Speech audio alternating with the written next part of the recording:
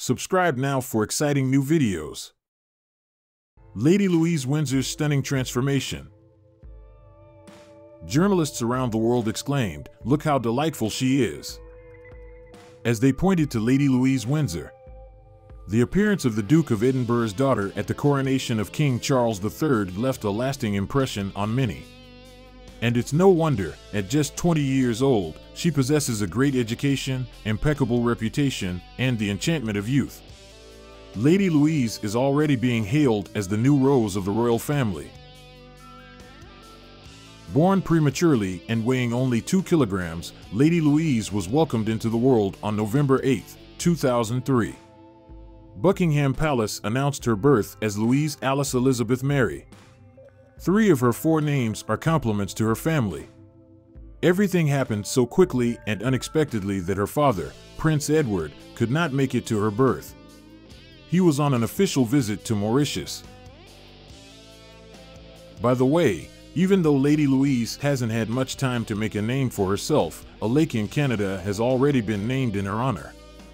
This gift was bestowed upon her in the province of Manitoba. Like all the girls in the Windsor family, Louise began equestrian training at a young age. Queen Elizabeth II stopped riding just a year before her passing, and Princess Anne, an excellent equestrian and winner of numerous competitions, including the European three-day event championships and participation in the Montreal Olympics. Following in the footsteps of her relatives, Lady Louise excels in horsemanship. After completing her schooling, she enrolled at the prestigious University of St. Andrews, where Prince William studied and met Kate Middleton. Louise is studying English language and literature and trying her hand at writing articles for the university newspaper. Louise rarely makes public appearances, but she cannot miss official events of the royal family. She served as a bridesmaid at Prince William's wedding and has been spotted at celebrations honoring Queen Elizabeth's Platinum Jubilee. However, she mostly remains in the shadows. But her grand entrance at the coronation caught everyone's attention. Lady Louise's white and lilac ensemble, complete with a matching hat, was hailed as one of the most successful fashion choices. Newspaper headlines proclaimed, a new rose has blossomed among the Windsors. Indeed, youth and charm are the best adornments. Once upon a time, Princess Diana was compared to a rose when she first got married.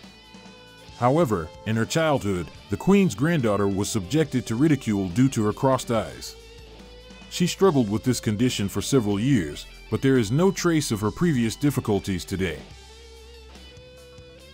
Currently, Lady Louise is 15th in line to the throne, but it is mostly a formality.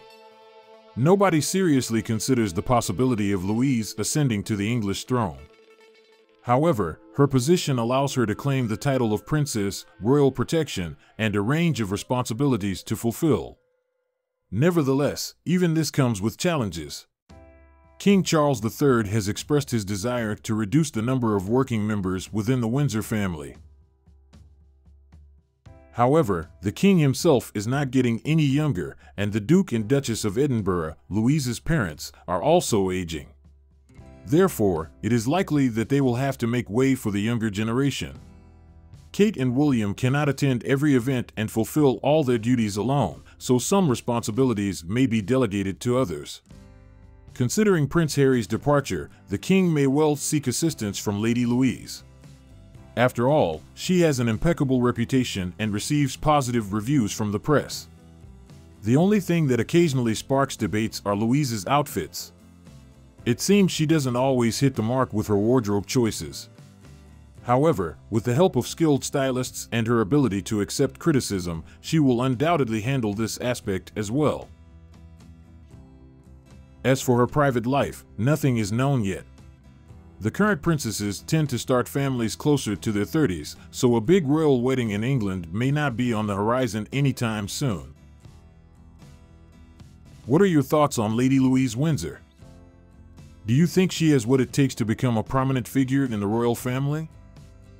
Share your opinions in the comments below. And don't forget to subscribe to our YouTube channel for more royal updates and fascinating discussions.